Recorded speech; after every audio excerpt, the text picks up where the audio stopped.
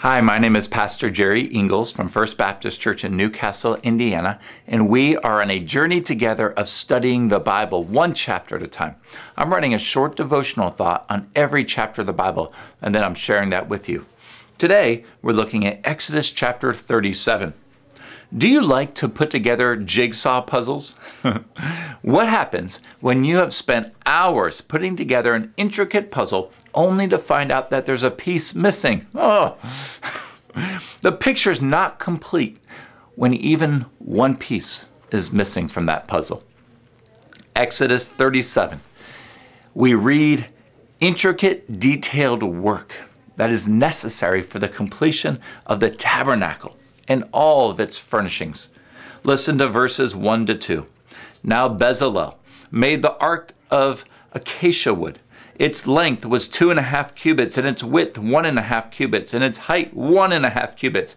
And he overlaid it with pure gold inside and out. And he made a gold molding for it all around. Throughout this chapter, you hear this refrain, quote, he made, which references Bezalel, the chief craftsman. He was responsible to take all the detailed instructions from Exodus chapter 25 up to this point and using all the materials God provided through the people, and he was to oversee the work. The reality is that it took an army of craftswomen and craftsmen, as well as a community of generous givers, to bring this project to completion. The tabernacle of God and all of its furniture would not have been made to specification it wasn't for every single person getting on board to do their part.